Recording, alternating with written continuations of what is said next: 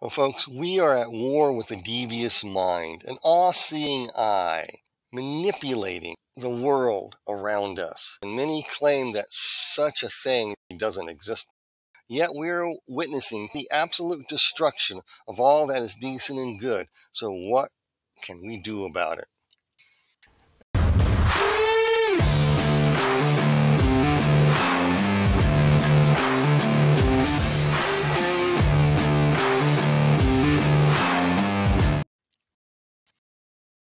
Well, folks, the work of a devious, unseen eye is recorded in Alice Bailey's Externalization of the Hierarchy on page 39 in the PDF.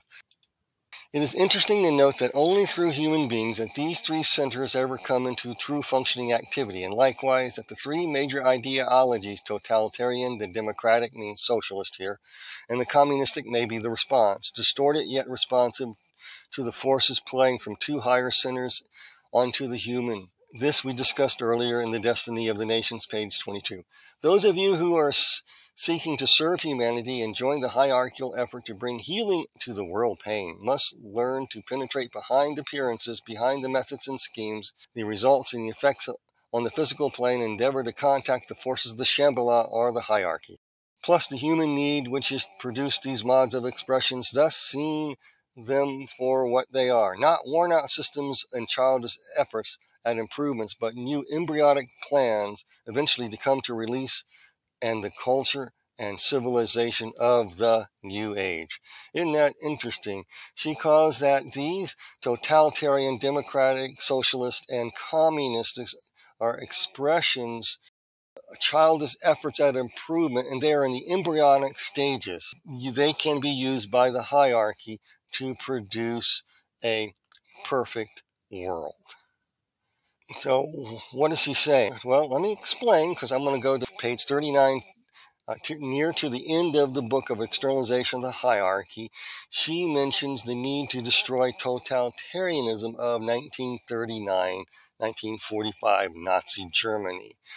Now, if the hierarchy watchers like to use this flawed system, why do they seek to destroy it? Well, they want to use it as an embryonic function to and use the, what they learn from it to create their perfect world. Okay, the answer is discovered in this: they play both sides. One is called the dark uh, side, or the dark bad guy lodge, or the dark lodge they call, it, and the other is the white, the good guy lodge.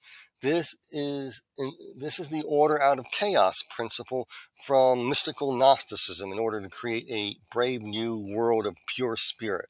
You got to use chaos to reach a state of synthesis that leads eventually to make a better world, free of pain, all the loving, and all that stuff. So let's review this dark side, bad guy side lodge here, folks. And let me go back here and look at this. Here on externalization of the hierarchy, page 40. The two forces used to increase tension in the world the forces of materialism streaming out of the three worlds from the so called dark forces are Black Lodge, and from those group of lives and workers, which are the antithesis of the Great White Lodge.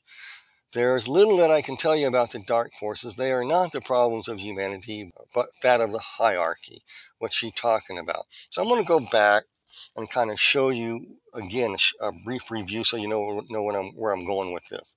This is what they do. This is why she says over in this other part here that in here, the, the, totalitarian, the democratic socialists, and communistic are flawed. These uh, uh, are, are not worn out systems at the bottom paragraph. They are embryonic plans to eventually reach the civilization of a new age. How so? So let's look at the three pillared system. Let's look at this the white lodge, dark lodge thing. Let's look at it. Here we have the pillar of severity, justice. It's the feminine side. It is the dark side. You have the pillar of mercy, compassion, the masculine, the white lodge, the good guys. So you have the good guys pit against the bad guys in order to create synthesis. The synthesis is called the crown, the pillar, the eye, when the results of it is, is to merge into equally, equilibrium or bring balance and harmony, a synthesis back into play. So let's continue to look at this. So you have the severity of justice, the dark lodge, the pillar of mercy, uh, creating tension and chaos in the world in order to merge everybody into the central pillar of synthesis. This is the same concept seen, seen in Hegel's dialectic of thesis, antithesis, to reach a synthesis, a balance, by blending the severity of justice fused together with mercy, compassion, by illumination to create the process of constant compromise to make a brave new world. The idea here is to destroy the old world and its materialistic system, bring it into synthesis to create a pure spirit world of balance, harmony. So you have the flawed systems of Marxism, the flawed systems of social democrats, democratic societies. You have the flawed system of totalitarianism or fascism, but they are the embryonic stages to bring about synthesis. So the dark pillar is basically this, folks. This is the dark pillar. The dark pillar are described in one particular way as the enemy. And then you have the White Lodge is described as the good guys who are going to fix everything and to reach synthesis through compromise. That's basically what we're talking about here. So the three forms of totalitarian fascism each uses uh, corporate financial systems to impose values on their citizens. In other words, the state will tell the corporations and the businesses what to produce to for what is known as the struggle. The struggle are the war to get back to this mystical uh, world of pure spirit, a new world. Okay, and that's why Alice Bailey identified like she channeled this as embryonic stages to re- reach perfection. This is what the hierarchy likes to work with. Totalitarian systems, dark side. There's three types of fascism. You have the not Nazi type, and then you have the Italian and Spanish fascist systems. They're also expansionistic and using industry and banking to maintain control over their population to teach them right human relations and obedience to the state. And so so this, all this would be based on socialism and collectivism and war against those who oppose that form of government and to eradicate those because you want a socialist model.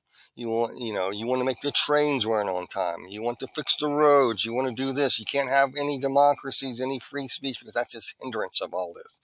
So you want to educate the people to embrace the Gnostic utopic version of utopia. However, Italy, fascist Italy, strayed away from this by invading Ethiopia to restore the Roman Empire, and he ended up siding with Hitler. So he became the Dark Lodge type. He became the Dark Lodge face of fascism. Okay, and then you have the Spanish. Many people just discount the Spanish thing, but there was a Spanish Civil War, 1936, and and fascism I died out when uh, General Franco died. I can't remember what year he died. I think in the 1970s, and it turned into the nation now. But it was a fascist-controlled nation for many years, and basically, that type of fascism is what the hierarchy likes because it went to an embryonic stage of trying to take over everything, which they want to do, but they want to make it more peaceable, more acceptable, more of a white lodge type of thing to save the world. So all forms of totalitarian fascism is um, in, discovered or, or basically uh, explained by the use of struggle to one day reach their version of a Plato's republic ruled by ruling oligarchy and state working together. Okay, render uh, basically reordering society and culture to reflect new values, new, new morals that are approved by the state in order to achieve perfection of a perfect, well ordered society, a paradise on earth of social collectivism. You have industry, banking, educational, media systems were used to teach right human relations. The state would dictate to the industry what could be sold and purchased in the struggle against the old norms. It was actually uh, a struggle against Christianity, Judaic Christian principles, and Western civilization. In other words, the house break their citizens to surrender their humanity to be able to live successfully in the collective hive. Revelations chapter 13 talks about this in a biblical way, speaks of a time like this where no one can buy, sell, or eat unless they have the mark of allegiance with the beast system. So let's look at these slides here. Externalization of the hierarchy talks about using the dark forces here. The task of the forces, the White Lodge and the Dark Lodge, is the preservation of the form of life and the working out of the methods and aims which are inherent in the process of manifestation.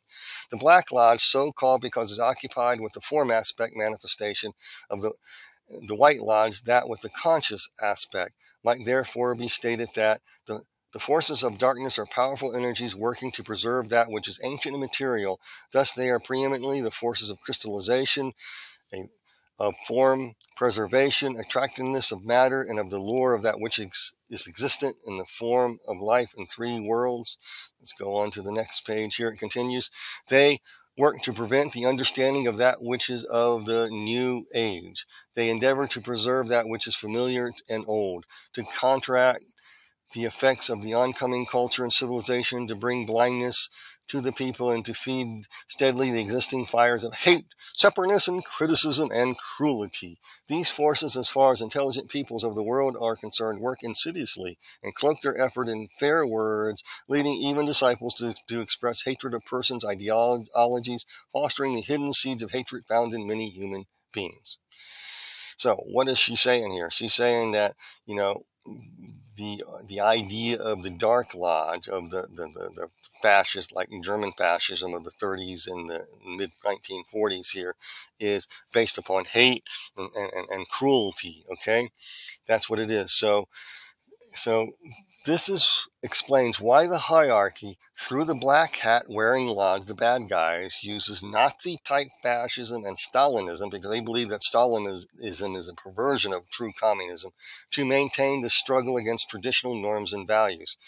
Um, God's order and design. So the white hat good guy lodge types emerge to bring order out of, out of the controlled chaos because they're controlling the, the dark side and they're controlling the white side and they're creating the chaos to bring you know order out of chaos. They want to bring about this new age of a pure spirit to reach that to a real pure spirit state.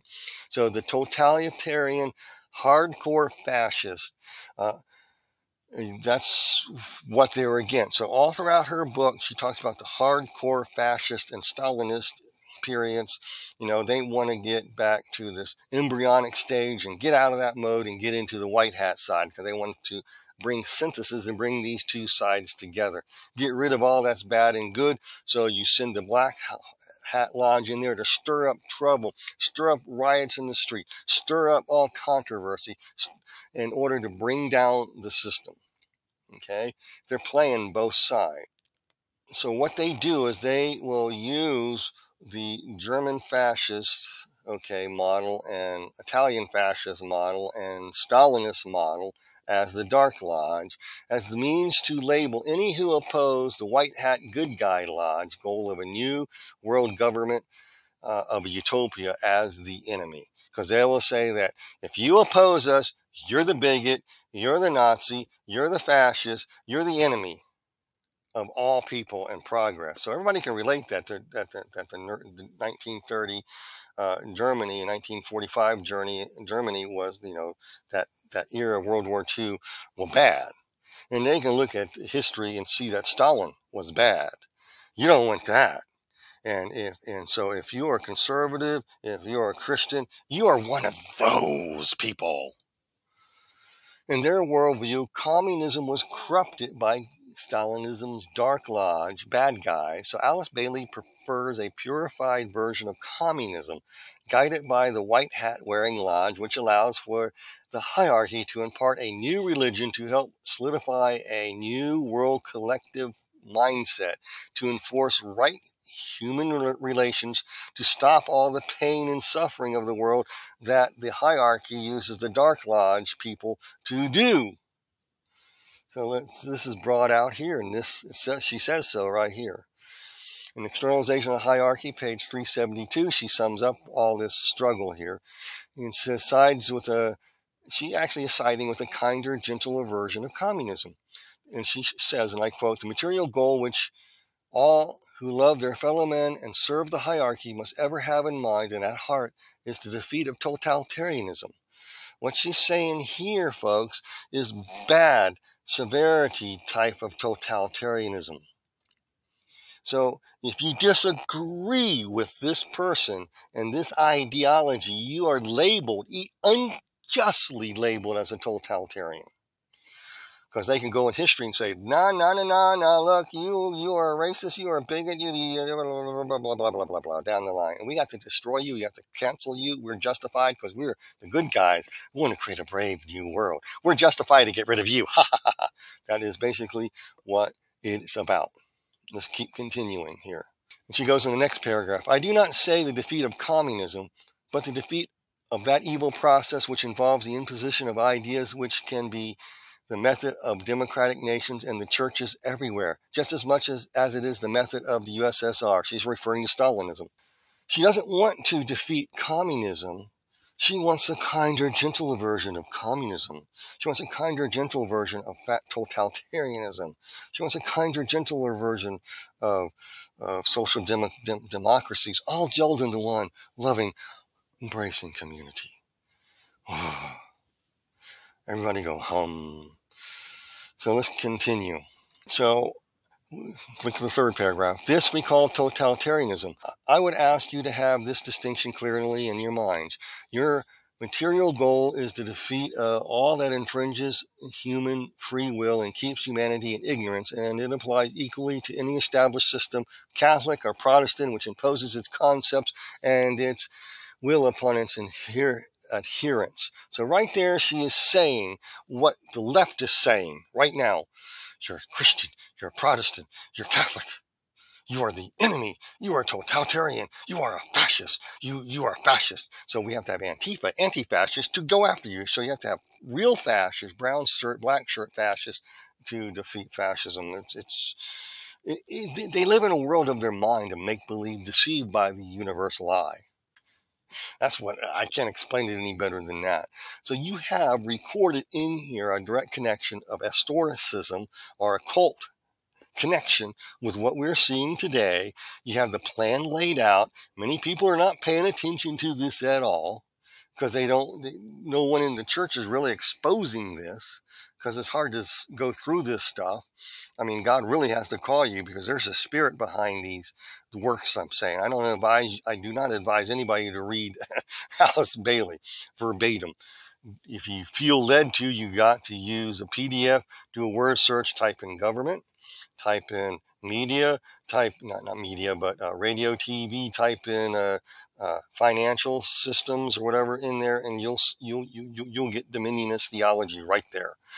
Um, you talk, type in word of power in some of these books. You might have to go through several. You'll get, you know, um, more than you bargained for and what you want to know.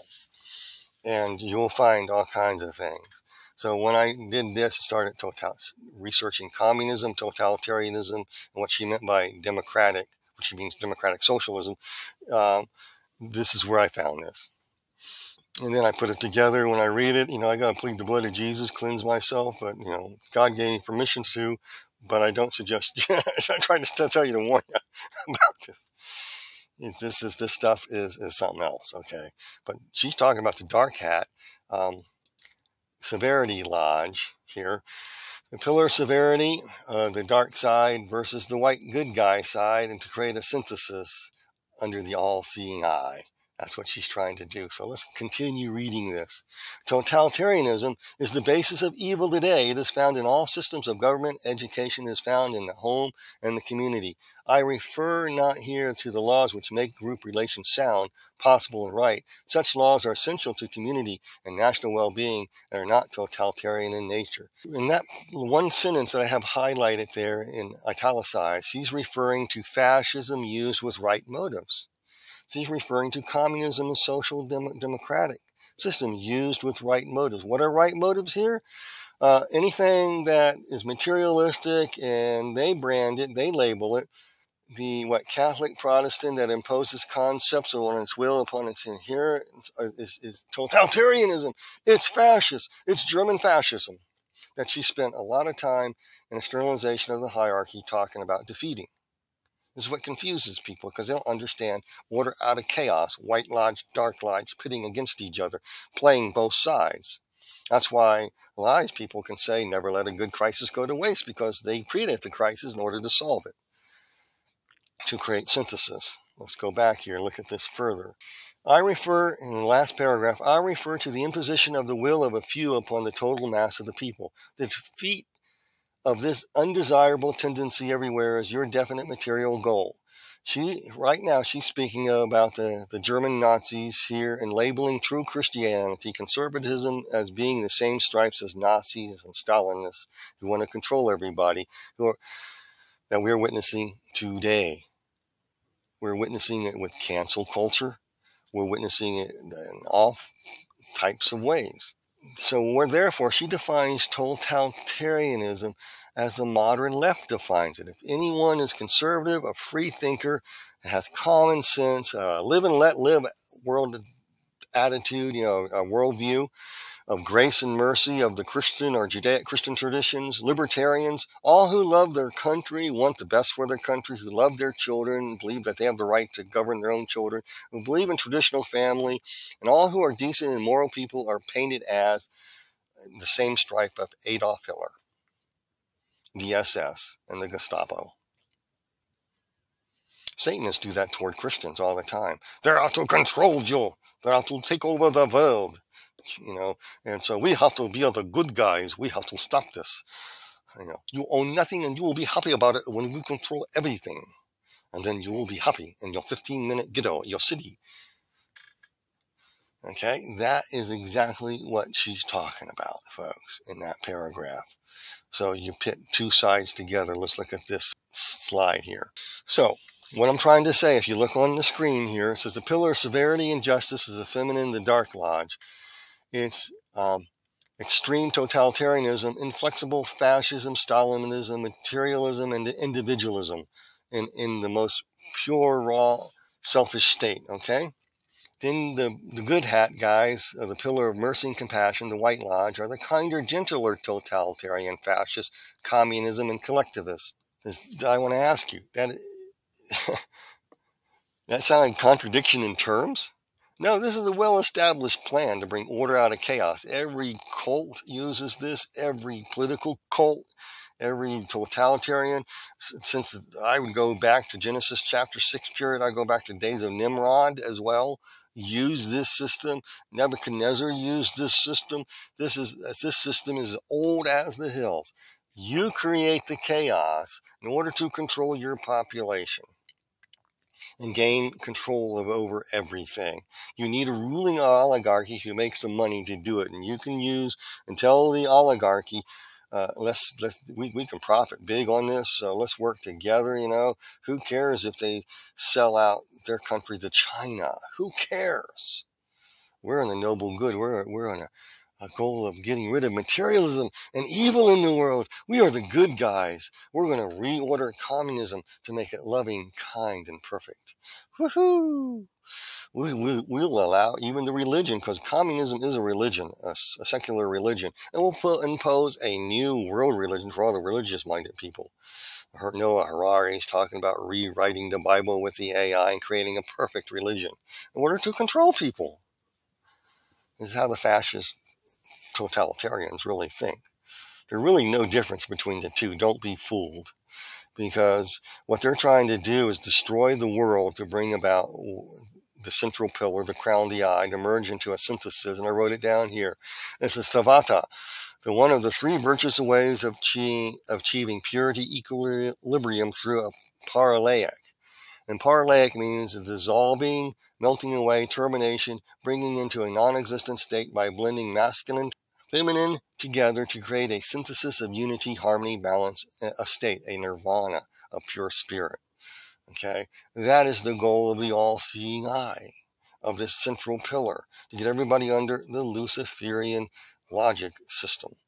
Getting that's what exactly what it is.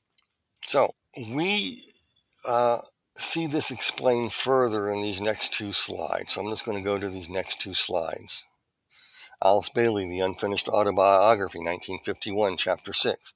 The thing we have to develop in the world today is the world citizen. Think global citizen, folks. Is the global citizen and bring an end to this crude nationalism which has been the source of so much hate. So if you love your country, you're even though you were founded on liberty and freedom and free speech, that has to die because that's evil. If you want the best for your country, you're labeled as a, a Nazi. In the reappearance of Christ, Lucis Publishing in 1948, page 188, 189, she, and I quote, this inherent fanaticism found in every reactionary group will fight against the appearance of the coming world religion and the spread of esotericism. And by esotericism, she means uh, uh, do as thou will and a unity and collectivism. For this struggle, certain of the well organized churches, through their conservative elements, their most powerful elements, are already grinding themselves. So, folks, what she's talking about here is, is simply this. If you're a reactionary force of a Judaic Christian con, conservative tradition, or if you are, are, are, you don't believe in this and you're an atheist and you believe in free speech and liberty and you're a libertarian, or you're just a good old boy, good old girl who loves their country, you you have to go. You are old fashioned. You're a materialist. We have to destroy the material world. We're getting to a spirit world. We have to bring synthesis together. The synthesis comes in the seventh root race stage. I don't have time to go back and do that. About the middle of the root, seventh root race stage, you enter into a world of new spirit. And at the end, uh, when at the very beginning of the sixth root race era stage, recalls for that um, H.P. Blavatsky wrote about is destruction of the United States and Western Europe. She wrote that in the 1870s. How did she know? She channeled demons. What can I say? um, and so calling for that. So that's why we saw in 2014 and 15 people and movie stars with that, that whatever that was, a one eye the Saturn's Eye commercials going on, and the commercials you saw with the cubes and all this stuff was the age of Saturn, uh, issuing in, in, initiating into the age of Aquarius, the seventh, the sixth root race stage, just before we reach parallaic, the destruction of the material world to get everybody gelled into pure spirit. These people are insane. They're on a religious crusade. This is a Gnostic um, version of political. This is a political Gnosticism in order to achieve this.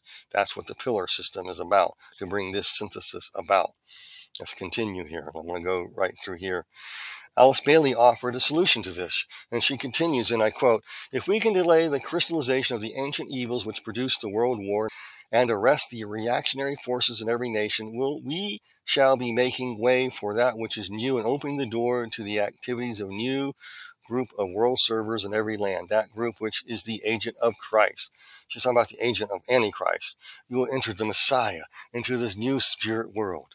Let's look at this again. Let's look at it again. We must arrest the re- reactionary forces of every nation.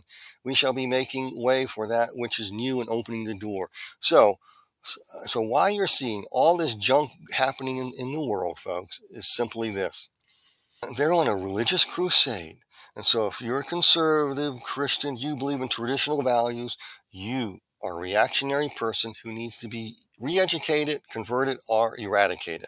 In their world, they have to eradicate you. They have to silence you. They have to cancel you. They'll close your bank account. They'll do anything because they're on, on the side of right. They're the good guys. They're why they're, they are enlightened. They know by the all-seeing eye. They are enlightened. They are enlightened to create a brave new, perfect world, and you are just getting in the way. And what does it matter? Like I think Lenin or no, or Stalin, no, Stalin said, you got to crack a few eggs to get there. That's amazing, isn't it? So let's look at this next slide.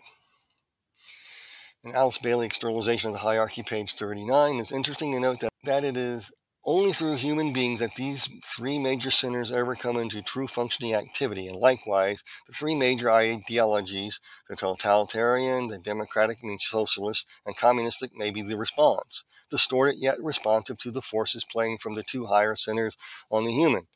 Okay? The two centers of the, you know, look at this. The dark and the light. The dark pillar, white pillar.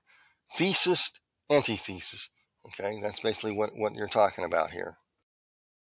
Go back in history, create a template that people can relate to, and label your enemies, as, you know, good, decent human beings, as the enemy, as those people that you created and caused. So you label them as Nazis, bigots, homophobes, so forth, etc., down the line. So you can go after them. That is exactly what Alice Bailey is saying. Okay, she really is. And she writes here the human need which has produced these mods of expressions and thus see them for what they are, not worn out systems and childish efforts at improvement, but embryonic plans whereby eventually may come release the culture of the new age. Isn't that nice? Isn't that really nice? How do you like that? The Apostle Paul is correct in this in Ephesians chapter 6, where he says, We wrestle not against flesh and blood, but against principalities, powers, rulers of darkness, and hosts of wickedness in heavenly places.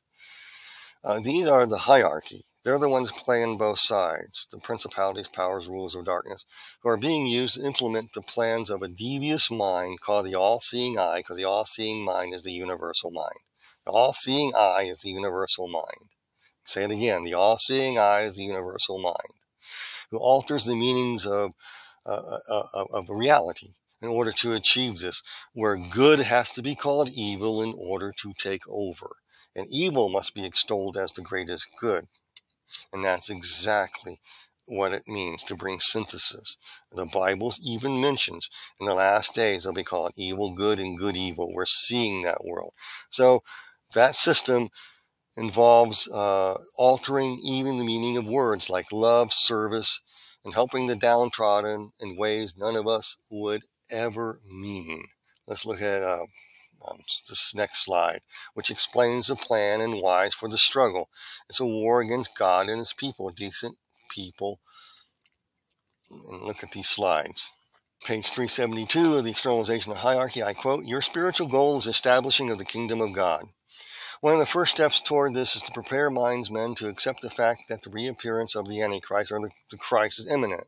You must tell men everywhere that the masters and their groups of disciples are actively working to bring order out of chaos. Can I just say, I told you so right now?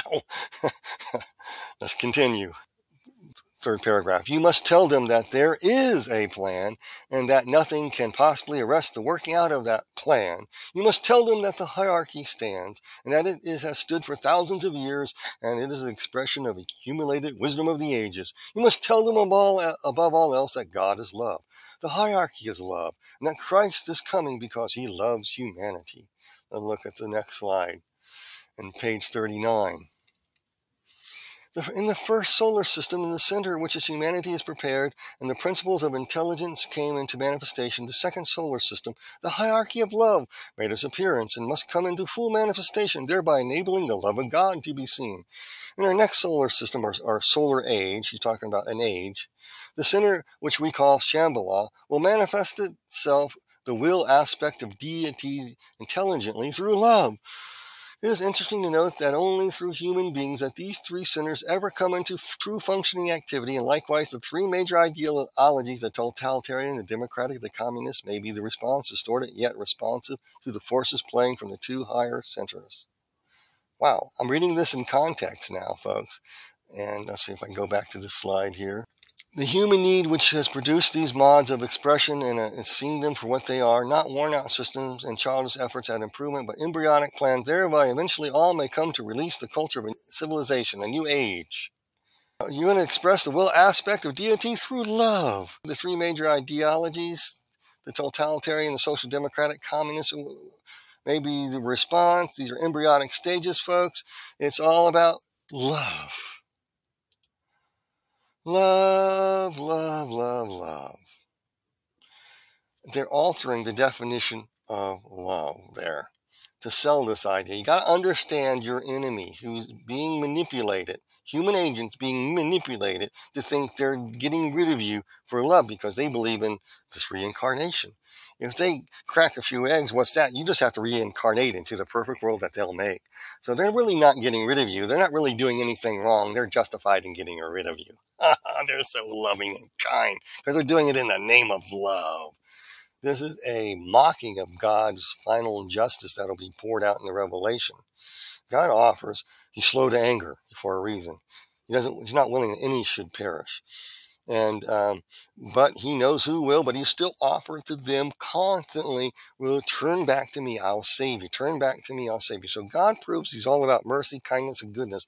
And the devil always says, I'm going to control both pillars. I'm going to create a synthesis of love, love, love, love, love, but it's really not. And so, so when God tries, to you know, issue forth punishment, uh, he always does so when uh, the time of without remedy is reached. And that time without remedy is seen in uh, the final time without remedy is seen in the book of Revelation. In the book of Revelation, you'll constantly see God saying, Will you repent? Will you repent? And they repent it not, they repent it not. It goes on and on and says that. God's merciful, always is offering repentance. Come back to Him, get restored, get, you know, get, get right with Him. you you know, you don't want to live under the devil's all seeing eye of do as thou will, because that's total, utter deception. And that's uh, what that's all about. So, therefore, you don't be fooled. Their definitions of love as she channeled, this kind of love is enforced by force with a kinder, gentle version of fascism and communism, all rolled into one in order to reach a parallelic state of synthesis that leads to a pure, pure uh, uh, spiritual state, a Superman state. The definitions of love and goodwill, charity, truth, community, service do not mean what we think they mean. Cults always change the meaning of words. Um, communist, communism and fascism and social d- democracies alter language. So does the Ephesians 6 crowd. I can take you and show you that. That's the part of the plan. I don't have time to. To arrive there, they use deception and dishonesty to justify canceling millions of their God given rights as human beings. It involves cracking a few eggs to achieve paradise. It involves the destruction of all that is decent and good. It involves, the, in the name of love, the decreasing, the reducing the world's global population by 90%. There's nothing loving, kind, or tolerant about these things at all. So let's look at this here in this slide. Like I said, you must tell them above all else that God is love, the hierarchy is love, that Christ is love. So, their idea of love is that we have, we love you so much that if you don't agree with the struggle against the material world which we created, fascism, and you're labeled as bad fascist, bad Stalinist if you believe in the Bible or you believe in liberty and freedom and love of nation and country. You're a materialist, okay? And you have to be eradicated. You're a reactionary force because we're the good guys. We're all about love. So let's look at this slide. An externalization of the hierarchy and return of the Christ. There are two groups who can do much. Those already using the financial resources of the world, if they will catch the new vision, also see the handwriting on the wall, which is bringing the old order down in destruction, and secondly, the mass of good, kindly people of all classes and fears of influence. Did you hear that? This system involves bringing the old order down in destruction and the mass of good, kindly people in all classes and fears of influence. How could that be love? How could that be tolerant? How could that, doesn't that prove that they're not about love at all? Their definition of love is skewed. It ain't what you're talking about. No tolerance at all. None. Zero. Zilch. None at all. Now, Alice Bailey, Externalization of the Hierarchy, page 6162. I just want to read this to you so you can see it. I quote Today we are watching the death of a civilization or cycle of incarnation of humanity. In all fields of human expression, crystallization, deterioration had set in. Worn out religious dogmas and the grip of theology in Orthodox churches have no longer sufficed to hold allegiance of the potent inner spiritual life. Humanity is deeply spiritual and innately religious, but needs today a new form which to clothe the ancient varieties. Old political schools have been deemed inadequate. New ideologies bear witness to the strength of the life which is seeking a more adequate expression. The educational systems, having served their purpose, are fast being recognized as inadequate to meet the need of, of the demanding life of the race. There is everywhere the cry for change and for those new forms of religious, political, educational, economic life of the race, the human race, which will allow a, a freer and better spiritual expression. Such a change is rapidly coming and is regarded by some as death. terrible and, and, to be avoided if possible. It is, it is indeed death, but it is beneficial and needed. This is beneficial and needed to get rid of the, this stuff. And if you dare raise your voice against it, we're going to cancel you because we are justified. We're, we're doing this in the name of love because we're all about a, sustainability, a new world where everybody gets along, and we enforce right human relationships. Uh, relationships. You have to be collectivist. It's all for the collective good. Page 62. We bear in mind also that the forces of destruction or death are twofold. First, the rapidly emerging and developing life with its deemed for more room for expansion and fuller experience. It is the spiritual aspiration for change and progress. And secondly, the reactionary forces and the conservative attitudes which adhere to the well known and the familiar and which hate the new and untried and the unknown. So, right there, they have the plan and to label you as the enemy of, of all that is new and good. We can have a kinder, gentler communism that Alice Bailey wanted to impose upon the world. That she wrote about that, that, that they want to work through. A new form of, to- of fascism, blended together with communism to make a new world, a new spirit man, eventually. Because they're doing it in the name of love. So, they just have to get rid of you. Look at this next slide. Page 62. Such dying is ever a painful process. Pain has always been purifying agent employed by the lords of destiny to bring about liberation. The accumulated pain of the present war and the inherent pain of the earlier stage began in 1914 is bringing about salutary and changing world consciousness. The Lord of Pain has descended from his throne and treading the ways of earth today, bringing distress, agony, and terror on those who cannot interpret his ends, and bringing about this, the restimulation of the instincts of self-preservation in its higher aspect. So is the instinct to immortality. It tends to focus on humanity's attention upon the life aspect and not the form. In other words, forget the materialism, go to pure spirit. We're doing this for love, so you be a loving spiritual being, a pure spirit. Woohoo! Worshiping the all-seeing eye because he's all about liberty and freedom and, and, and love, love, love, love, love, love, love, love, love. It's just changing words. And to get there, we have to do what, how, how do you get there? Oh my. And then it says the names of the lords of karma. Karma, synthesis, dark lodge, white lodge, playing against each other.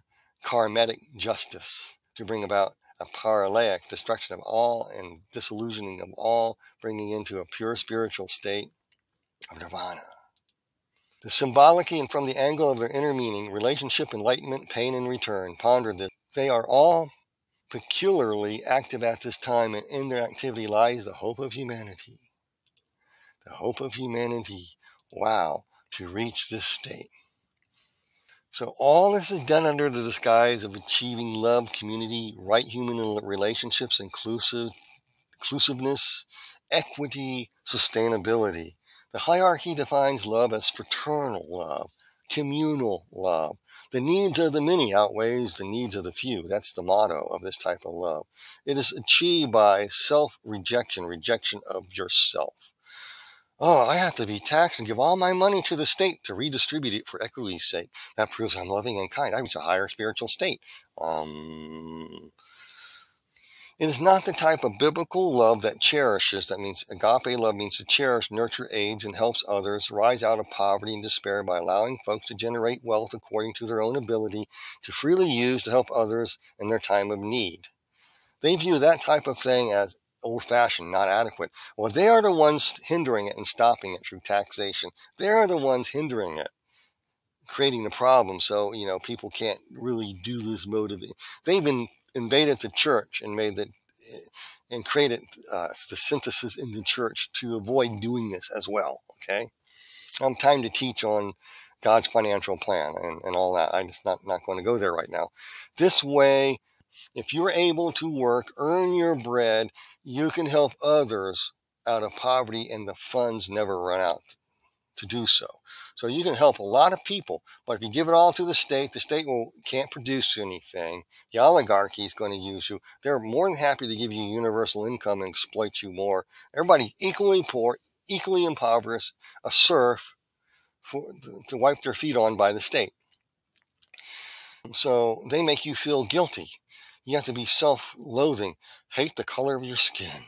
You are an enemy. You are a materialist. You're a fascist. When you're not. Not at all. That's their idea of love. The Western worldview is deemed as the enemy because it teaches folks how to fish so they can provide for themselves and teach others how to fish. And not to be a leech on society is, is, is, is the anathema, the enemy. Okay? Socialism makes a leech state possible. How? By stealing from others to spread the wealth around so all become equally impoverished and easily controlled by the state. Food is scarce. People become despondent. They become lazy. The roads suddenly become filled with potholes. And interstate highways are almost unrideable. Any, you know, things like that begin to happen. Bridges start to deteriorate, okay? When you see this. Crime is in the streets. You see long lines. You can't find goods and services as you once did. You're reduced to a state of non-beings, useful to the whims of the state and enforced by the great merchants of the earth. That is the Babylonian system. That is the system of the great eye of the universal mind. To spread your wealth around, not theirs. That's how they define charity.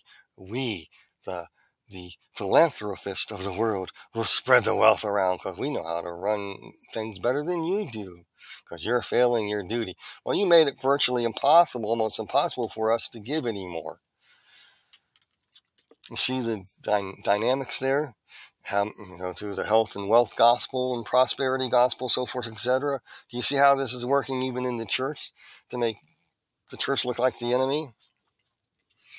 So, so their idea is the needs of the many outweigh the needs of the few. That's their idea of love. To justify your surrender of your self autonomy for their greater good of the few at the top of the food chain. This is a revised form of feudalism. It's the divine right of kings and nobles of ancient times, model of government. They shame you in order to confiscate your earnings for their common good.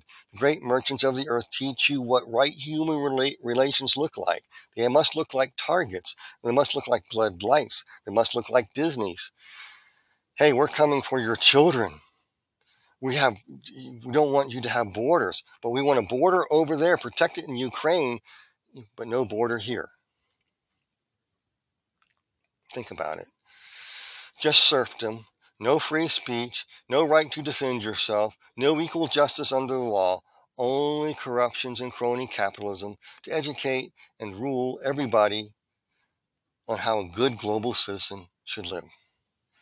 This is their brand of a kinder, gentler version of communism and fascism they desire to impose by force on all disguised as achieving what Alice Bailey channeled as group love, group consciousness, Christ consciousness, group control, harmony, and right human relationships. Any who hold a Judaic Christian Western worldview about generating wealth to help others and teach them that they can too, they can lift themselves out of poverty, is deemed material, selfishly evil, doesn't work. It's only concerned with one's little world. You're greedy dogs, you're selfish, you're unenlightened, you're bigots who cause all the world's poverty and racism because you're hoarding all the wealth. How do you combat this? And the answer is revealed in Ephesians chapter 6, verses uh, 12 through 18, called the armor of God. So, what I'm going to do here, real quickly, I'm, I suggest you add what I'm about to reveal to you and share to you about together with everything you learned about the armor of God. David Guzik's enduring word commentary on Ephesians 16 is a call to stand against evil. Finally, my brethren, be strong in the Lord and the power of his might.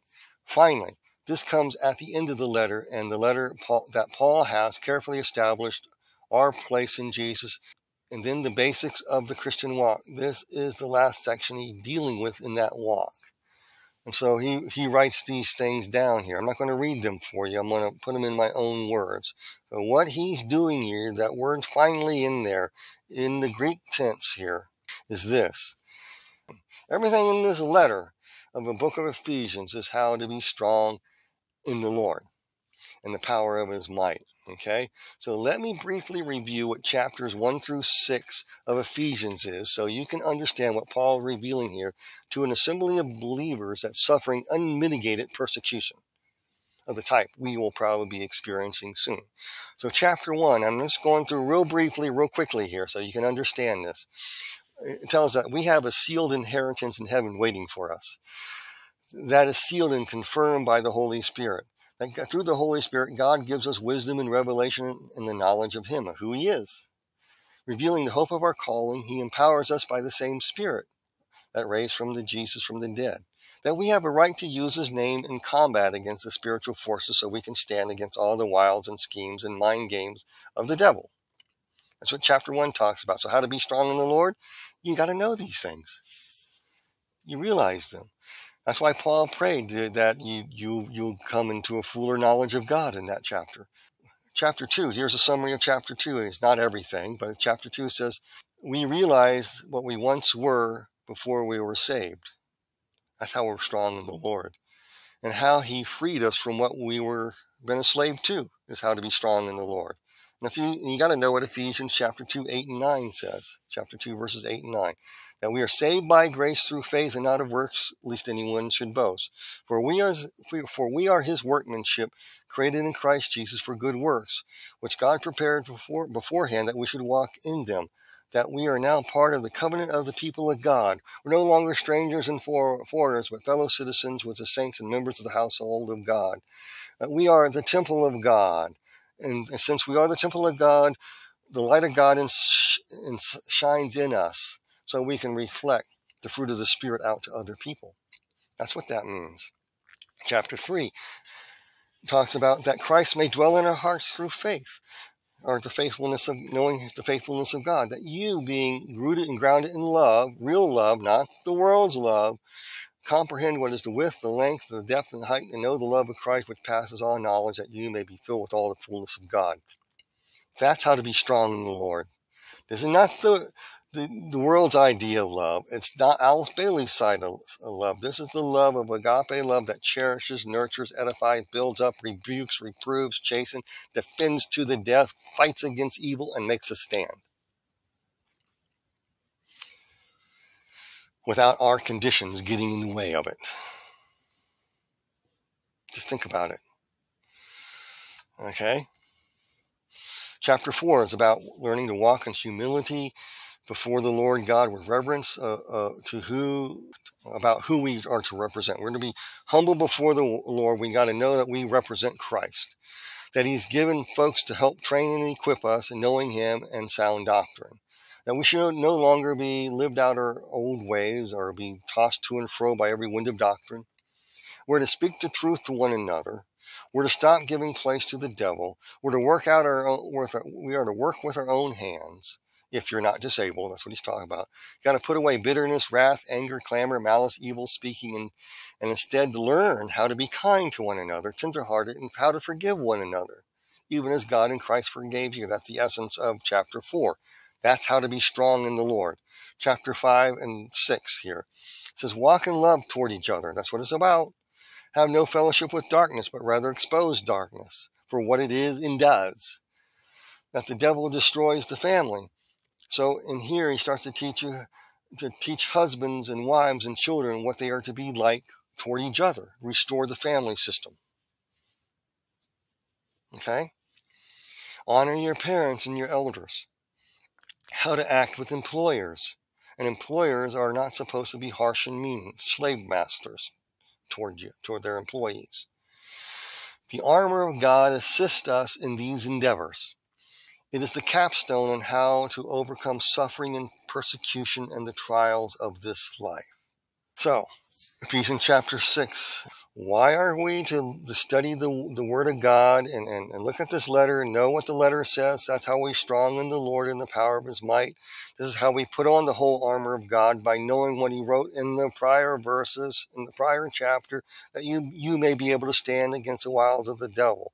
Why? Because you will know for a fact that the wiles of the devil will make you doubt your salvation. The wiles of the devil say you have to maintain works to stay saved. That's not true. God saves you to the uttermost. A true believer. There's true believers and there's false believers. You know, So I'm talking about true believers. They are going to go through a sanctification process.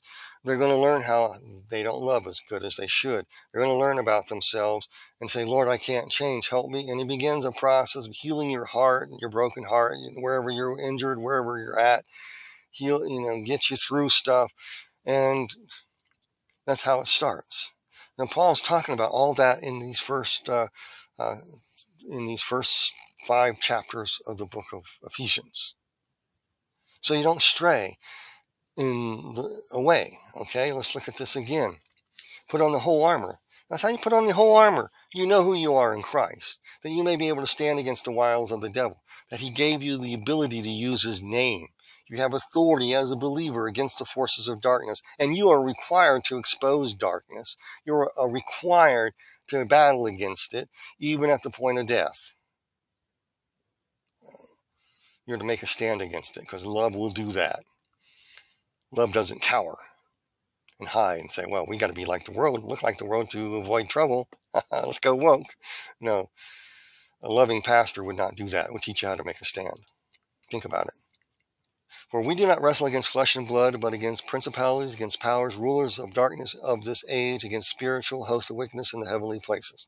Because we're not wrestling against flesh and blood the people that are under control by the left wing people of the society are controlled by principalities, powers, and demonic hosts, okay? Alice Bailey wrote about a period of time of overshadowing people and, uh, and a time of mass possession coming in at the end of the fifth root race era stage of humanity into the sixth root race stage to and, and uh, so to mass possess and overshadow people. Overshadowing is a form of possession where a person maintains their their um, their mental stability. They're not lunatics, and they reason. They're highly intelligent, but a, uh, but it's like the flip is switched on. A switch is flipped on, and they act one way. Then they go to their family, and the flip is switched to act another way. So nobody can really tell they're really possessed. They come across as highly intelligent people with the best noble in deeds. They talk about love and New Age and all this stuff, and you know they're they're they're overshadowed. These are the forces that are behind it. That's who we wrestle against. There will come a time when spiritual war gets hot, and it's getting hot, where you require to expose this darkness in people and expose the principalities and powers and rulers of darkness in heavenly places, even at the point of laying down your own life in order to stop it. Therefore, take up the whole armor of God, that you may be able to stand with in the evil day, and having done all, to stand. That is a powerful statement and it's very powerful. And so we're to stand against it. We're not to cave. We're to expose evil. Stand how? Well, let's look at the next slide. Therefore, take up the whole armor of God that you may be able to withstand in the evil day. Having done all to stand, stand therefore. You know, stand is mentioned four times in this, this chat in, in this chapter six, verses 12 through 18 here he's making if you love and walking in the fruit of the spirit love joy peace whatever you're required to make a stand how gird it yourself with the waist your waist with truth having put on the breastplate of righteousness having girded your waist with truth what does that mean truth is like dr tony evans would say is the standard by which reality is measured by i can look at myself in the shower and I know what I am as a human being. And you of the opposite gender can look and, and take you take your shower, you can tell what you are. Truth is the objective standard by which reality is measured by. And um, and if you want sustainability, you want to alter what it means to be human and, and, and hoodwink parents and kids. And you want to go after them when they're young to make a transition so they can never procreate because sustainability is all about decreasing the world's population in a benevolent way. Because these people think it's loving and kind to eliminate 90% of the world's population by benevolent means that you're witnessing right now and you don't know why. We're called to expose this, put on the of truth. I know who I am in Christ Jesus. I know what Ephesians chapter 1 through 5 and first part of chapter 6 tells. It defines what the family is, defines how father and mother and children are to interact with each other and grandparents and so forth, etc. Teaches you how to, how to, how to get back on track. It gives you the template to follow. It tells you that this world's not my home and I am to walk by the fruit of the Spirit, love, joy, peace, so forth, etc., righteousness, holiness, uh, and I have problems. I, yeah, God's working on me. I'm being sanctified. I have the truth about all that. I'm the truth that I have the power and authority to rebuke the forces of darkness. I have the power and authority to make a stand against the nut jobs out there at the point of me being beat up or put to death, which will prove that they are not loving or kind. God will hold it to account, and I can die, like Stephen said. You know, I see the Lord high and lifted up, and I can offer forgiveness to the ones putting me to death. That's greater love than them trying to say, you're going to bow down to your knee to this way or it's the highway. Whose love is superior? I just disproved you. Do you understand what truth does? Think about it having your waist girded with truth, put on the breastplate of righteousness. I like how um, Vine's expository dictionary, the older version of the dictionary, I don't know if the newer versions have, have edited this out, but righteousness used to be spelled in Old English of the, of the Old King James as right wiseness, doing what is right under the wisdom of God. Okay. yeah, living a righteous life, doing what you think is right under God's sight, He's guiding you to live right, reflect Him. So that protects you, protects your heart. The truth undergirds you in knowing who you are, knowing what it says in the book of Ephesians about righteousness, to be a reflection. Reflect Him. Be imitators of God, dear children, and walk in love. The love that cherishes, nurtures, edifies, even chastens, even will defend, the fatherless and the weak. It will defend your right for, to free speech. It will defend you. It will lay down its life for you. Think about it. Think real hard. Verse 15, having your feet shod with the preparation. Preparation means foundation, a firm footing of the gospel of peace. The word peace means wholeness, soundness. It's what the gospel produces in our lives. It's bore out by growth that makes one complete, whole, sound, in other words, you bear good fruit. So this is not just talking about the gospel, it's the whole gospel, the gospel of, of Jesus Christ, who he is, the death, burial, and resurrection of Christ, and salvation message, and righteousness in Christ, and all that. It goes through the process of sanctification. The Holy Spirit is now lives in you to sanctify you. Yes, you got problems. He'll make you whole. He'll heal your broken heart. He'll be working your life to set you free. He'll give you good news. This is a process. This is the whole thing. Your feet was shod with basically combat boots.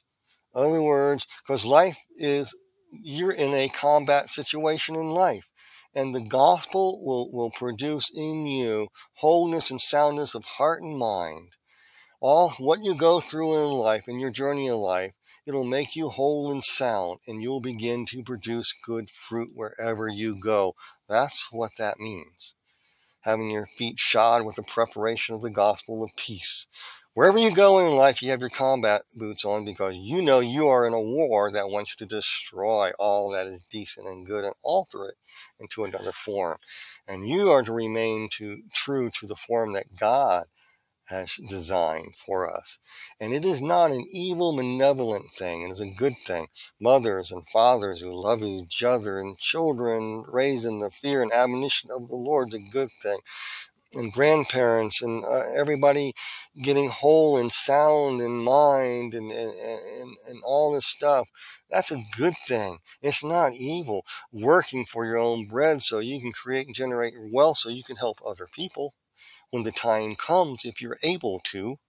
But with high inflation and all this stuff that's robbing you, how can you when you have this system that wants to destroy you by labeling you as a fascist, a bigot, that you're the enemy?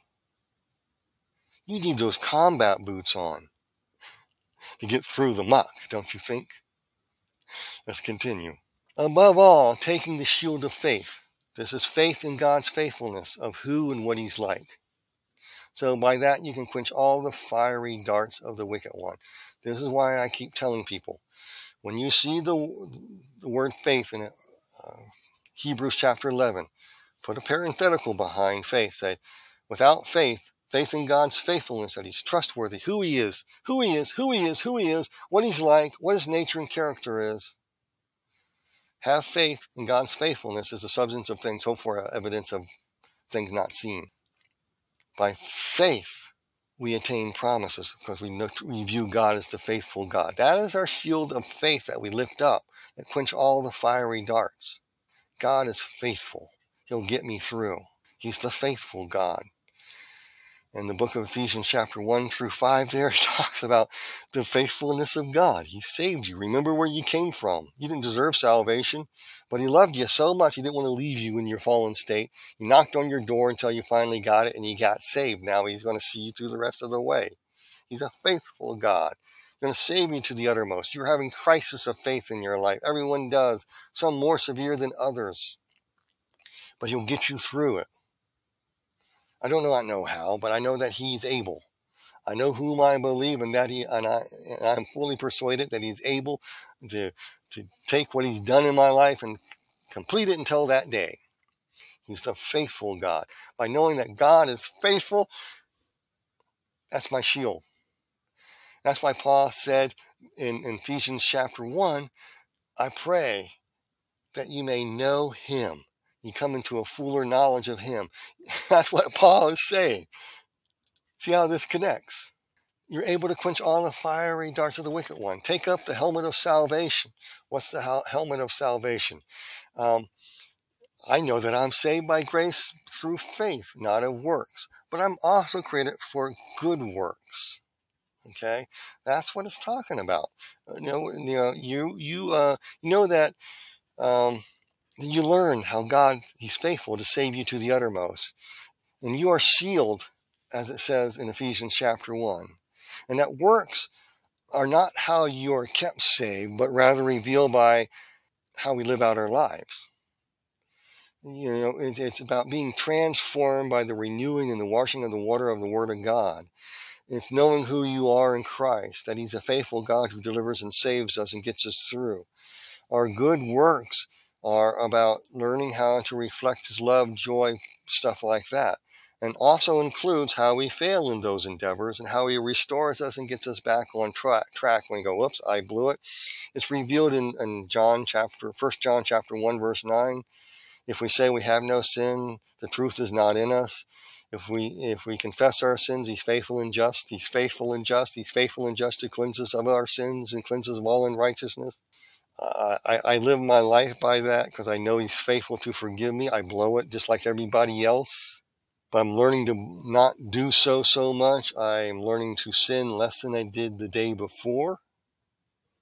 I'm not the same person as I used to be. I now have a track record of works, not to prove that I'm saved or I'm saved or, or, or earn my salvation, but that his He's working on me. I'm saved for we're created as his poimania, as Ephesians chapter 2 verse 10 says, his masterpiece. He's working on us to do his works within us. I'm look I'm living my life knowing that God will work through us and through me.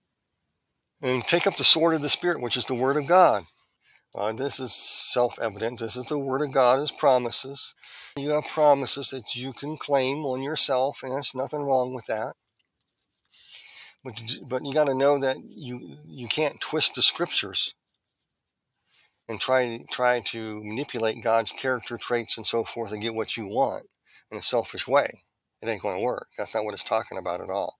This is a sword of the Spirit, taking the word of God against the enemies that are coming at you, who are saying that you are a bigot, you are you are against this, you're against that, you you, you are a materialist, you you are a you are uh, you are a fascist, you are this, you are that, you know. This is taking the word of God to be able to defend yourself and make a stand against the world, the flesh, and the devil. This is the sword of the spirit. You know, the sword of the spirit. You know what the word of God does? It cuts the heart. It's the discerner of the thoughts and intents of the heart. God will give you the words to speak when the enemies confront you that'll cut their heart. When Stephen spoke to the, to those people who wanted to kill him, they were cut in the heart, and they they rejected that, and God exposed that they weren't loving, kind, tolerant. They were a violation of the word. They uh, of the word of God. They were committing murder unjustly, using God's word to justify it. Okay, that's the idea of the sword of the spirit. Cut the heart to the heart of the matter. Don't mince words. Get to it. Get to the point. okay? And it's in connection with the next verse 18. Praying always, always with all prayer and supplication in the Spirit, being watchful to this end with all perseverance and supplication for all the saints. So the, using the Word of God with all prayer and supplication in the Spirit. Just like Paul gave examples twice in the book of Ephesians about praying and how to pray in this way. I'm not going to repeat them. You can go in them. You, that's your homework assignment. Look at those two prayers in the book of Ephesians because it sums up what I'm talking about here. I'm praying with all prayer and supplication with all the saints all the time. You know, I'll pray that they can make a stand. Pray that their eyes will be opened up. Pray that they can see doctrines of demon. Pray that these things. I'm using the word of God as a sword of the spirit to combat that in, in spiritual warfare. Okay, that is, these two things connect with all prayer and supplication for the saints. Basically, what I'm just going to sum up what I'm trying to say here putting on the armor of God helps us make a stand like Daniel and his friends did when confronted with a Babylonian system. Daniel was thrown into the lion's den. His friends were cast into a fiery furnace. And Daniel was, uh, you know, set up by the, the, the hierarchy of his of the, of the human hierarchy that was in charge of Nebuchadnezzar and, the, and Darius to go after him. Now we, we have to make a stand like the ancient judges of Israel were raised up to do against ongoing evil when spiritual warfare goes hot. We're approaching the point when spiritual warfare is getting hot. It's no time to play church games. We can't ignore what's going on around us. We cannot go back to the old ways we once did church and hope it all goes away if we just compromise or we just go back to teaching the old things we talked about, prosperity and, and pop psychology. You have to, comes a time when the remnant has to stand up and make a stand. And by having the armor of God, understanding what Ephesians chapters 1 through 6 is talking about, is how to put on the armor of God. So all I can do is just ask and pray that the Lord bless you and keep you, make his face shine upon you, that he re- illuminate you in his light, not the devil's light, okay? That God will illuminate you with his light of life so that you can grow in the Lord and how you grow, you're able to share that to others that he can heal your broken heart, that he will mend, mend your crushed spirit, that he will get you free from whatever is holding you captive, that he'll set you from out of your prison bound, that he will heal your body, that he'll heal your mind, he'll bring healing to your heart. That's all I can ask and pray for you right now, all of you that the Lord will do that. I'm supplicating to the Lord because He's a faithful God and I know that He came to do those things. I ask Him to do that on your behalf right now in Jesus' name. With that, if you'd like to contact me and everything, you can just look on the screen and see my contact information, how to get a hold of me by email if you want to support what I do. All the information is there and all that. With that, you guys be blessed in Jesus' name.